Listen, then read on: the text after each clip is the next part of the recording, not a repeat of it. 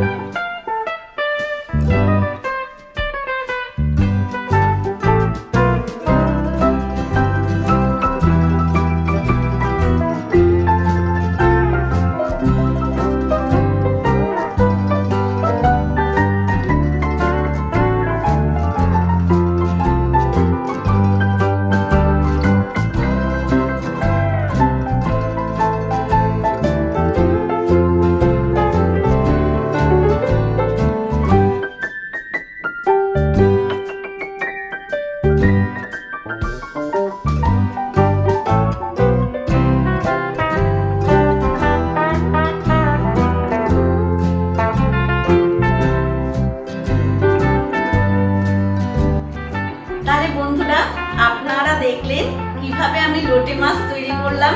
আপনারাও এটা বাড়িতে ট্রাই করুন। এটা কিন্তু খেতে খুব সুস্বাদু হয়। আর এই লোটে মাছে কিন্তু ওমেগা থ্রি আছে। আর চোখের ডাক্তাররা কিন্তু প্রেসক্রাইব করেন এই লোটে মাছ খাওয়ার জন্য। আপনারাও এটা বাড়িতে ট্রাই করুন। আর কেমন লাগল আমাকে অতি অবশ্যই জানাবেন লাইক এবং শেয়ার করবেন। আর যারা এখনও আমার চ্যানেলটাকে সাবস্ক্রাইব করেননি প্লিজ প্লিজ সাবস্ক্রাইব করে দিন আর বেল আইকনটা ক্লিক করে দেবেন। আজ তবে আসি।